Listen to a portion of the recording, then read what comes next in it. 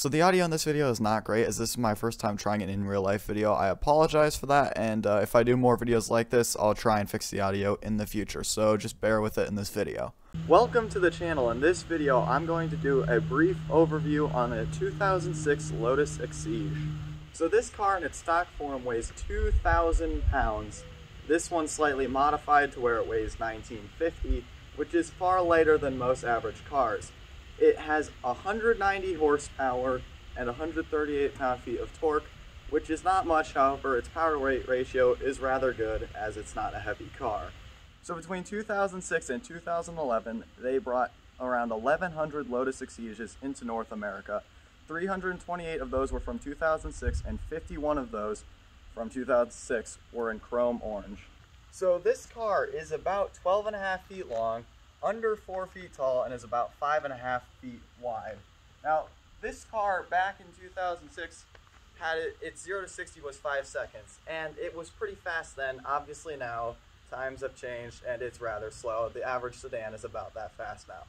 The uh, color, as I said, is chrome orange, and in the sunlight it really pops, and is one of the coolest colors you can get on any car. This car has extremely good handling as it only weighs 2,000 pounds has stiff springs and really grippy tires. Plus with all the aero with added downforce, it handles and sticks to the track really well. Now this car, like most mid-engine cars, has staggered wheels, so it's 17 inches in the back and 16 in the front. Now at 100 miles an hour, this car makes 100 pounds of downforce, 48 coming from the rear and 42 in the front. It's got a wing, a functional front splitter, side scoops, it's got a rear diffuser paired with a flat underbody bottom which reduces drag and increases downforce. Let's check out the inside of this car. Getting in it is sort of difficult, but once inside, it fits you quite well. The seats are really tight in this car. You can't really move around much at all, which is quite nice for when you're cornering at high speeds around the track. Now, inside this car, there's not that much as far as nice, high quality stuff. You have some fake leather up here, plastic. There's a lot of exposed metal inside and more plastic. Your shifter, obviously. This bit right here is actually part of the chassis inside the car, and I guess it would have been too much weight if they just put some carpet on it or something. So this passenger seat is not movable or reclinable at all. The driver's seat can move forward and backward, but cannot be reclined either. Interestingly, the driver's seat is more towards the middle of the car and the passenger seats is over to the side so the driver has more space and can view from the center of the car more. Also, these pedals are very close together and there's not much room. And this has holes drilled out of it for weight savings purposes. Now, as this car is designed for weight, they didn't spend that much time putting nice features in. So this is basically the crappiest stereo you can ever have. And the AC is terrible. Out in Arizona, in the summer, it barely takes the edge off of crap, and we're sweating really badly in this car. So, like most modern day cars, it starts with a start button, but you actually need to have a key in the ignition, which doesn't make much sense at all.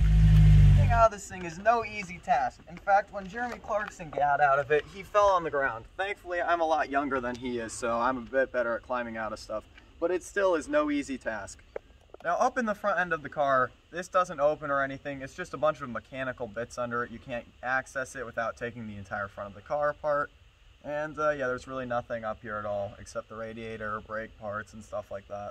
So this roof scoop isn't actually functional. However, on the 07 and up cars, they opened it up and it helped cool the supercharger. This car, however, is naturally aspirated, so there's no point in it.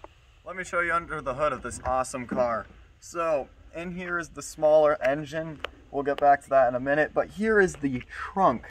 And it's pretty small. You can't really fit anything in here. It gets quite hot because there's not much keeping it from the engine. So you can't keep anything that could go bad here, like your pet cat or whatever. And uh, yeah, it's quite small. Like I said before, this is a 1.8 liter inline 4 engine producing 190 horsepower and 138 pound-feet of torque. So this car has a variable valve system similar to VTEC, and when this car hits 6200 RPM, you feel a boost in power as it swaps cam profiles.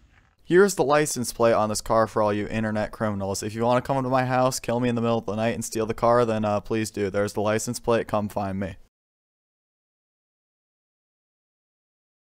So this car's top goes from here to here and it can be taken off. Interestingly, it's not fully waterproof and it says that in the owner's manual, which is odd since it's from England and that place is quite rainy.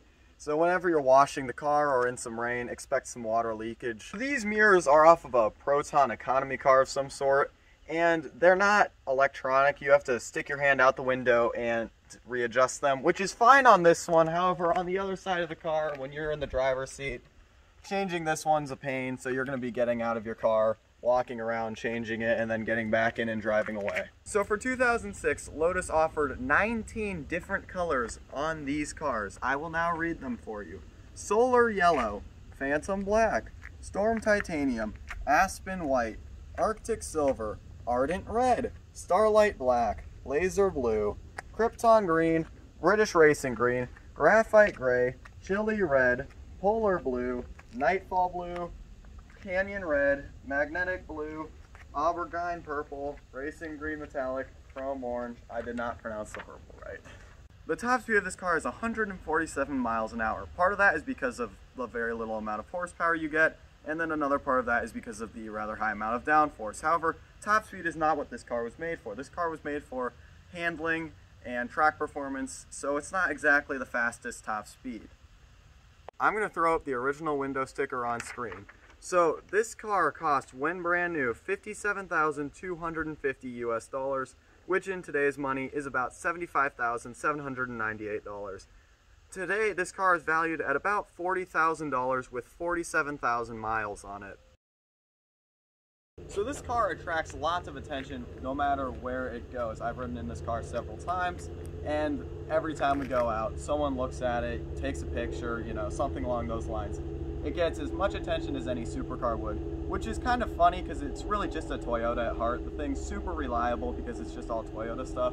It's great for the track because it's just, it's cheap to use basically, low maintenance costs and all of that. So a metal gas cap feels quite solid and a lot like a race car, and that sums up this car quite well. Now, it handles like a race car, handles like a go-kart, is quite an overused term nowadays, but for this car, it is actually quite accurate and true. It's much like a race car for the road, and it does actually handle like a go-kart. This car has mesh over the engine to let the heat out, as well as has mesh over the front and by the side scoops, and just to let some heat out, let air in, when this car was made, and this might still be true, it was the smallest windshield ever, and because of that, you needed one windshield wiper, which of course saves weight. This window is so small, I can reach across the entire thing. So in a future video, I will go over the modifications on this car, how much they cost, and how much weight was saved. There are a lot on this car.